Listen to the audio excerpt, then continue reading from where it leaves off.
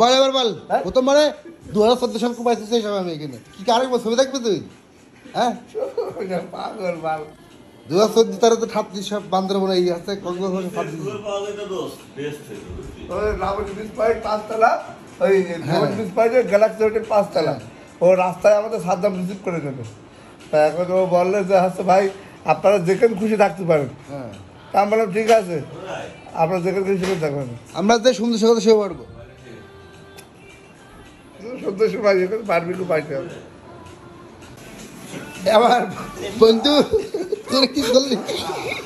এটাই ছেড়ে দেবো দাদা এটাই ভালো লাগে দাদা। হ্যাঁ? বন্ধু এটা দশ সেকেন্ডের রিল দিতে ভাবে থাকবে বুঝছিস? ভাই দেখেন বাথরুমে যাওয়ার জন্য সিরিয়াল রয়ে গেছে আর বন্ধু দেখো। আর বন্ধু বাথরুমে যাবে তাই কি করছে দেখো ভাই। কালকে লাস্টে আমি ঘুম করছিলাম না ভাই। তাই? কালকে আমি রানি ঘুম ডাকাতি করছিলাম না।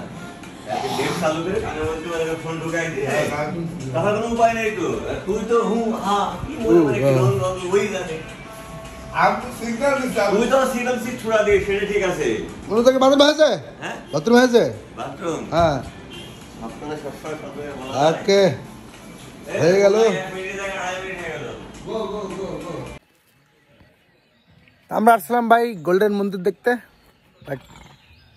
বন্ধ আছে আজকে? এই কারণে মুসলমানদের জন্য বন্ধ। মুসলমানদের জন্য বন্ধ। বৌদ্ধদের জন্য খোলা। সঠিক। হ্যাঁ এই যে লেখা রয়েছে না কই? বৌদ্ধ ধর্মাবলম্বীদের প্রবেশ করতে পারবেন। মানে মুসলিমদের জন্য এটা বন্ধ। ঠিক আছে? মুসলিম নথিটা ঢুকতে পারবে না। এখানে লেখাই আছে যে বোর্ডে সমস্যা নাই, ঢুকতে পারলাম না, কোনো ব্যাপার না। বাট ওই যে মন্দির, এটা হচ্ছে গোল্ডেন মন্দির বলে, বাট রং করে গোল্ডেন করছে, ঠিক আছে? এটা রং করে গোল্ডেন করছে, রং জাস্ট আর কিছুই না। এবার পেছনের ক্যামেরা দেখো। ওই যে ওপরে মন্দির দেখা যাচ্ছে। মানুষ বলে গোল্ডেন মন্দির, বাট এটা হচ্ছে রং করা মন্দির গোল্ডেন মন্দির, ঠিক আছে? এটা হচ্ছে মুসলিমদের জন্য ওঠা নিষিদ্ধ বাট কিছু বলার না এখন। দক্ষিণ আন্দোলতে কিছু বলার নাই, আমরা আসছিলাম। এই পর্যন্ত আসছিলাম ভাই যে। এখন আমরা এখান থেকে ব্যাক করব।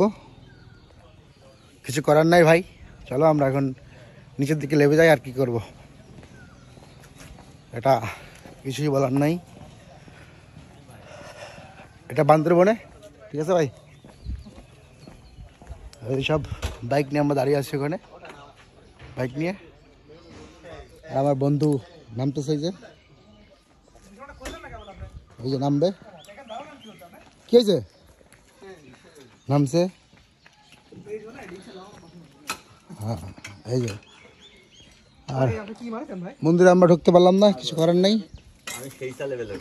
বাইক, এটা আমাদের সবার। এই যে।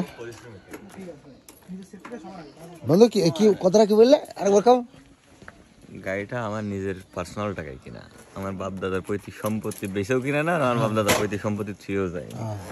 এই জন্য এরপরে আমি খুব টেক কেয়ার আমার বন্ধু বলছে গাড়ি খুব সেফটি ইয়ে করা বাট আমরা ওখানে উঠতে পারলাম না। কিছু করার নাই? নাকি ভাই? হচ্ছে না। হচ্ছে না? আমরা ব্রিজের উপর দাঁড়ালাম তো ব্রিজের উপরে যে আমরা দেখি কিছু করা যায় নাকি চলেন।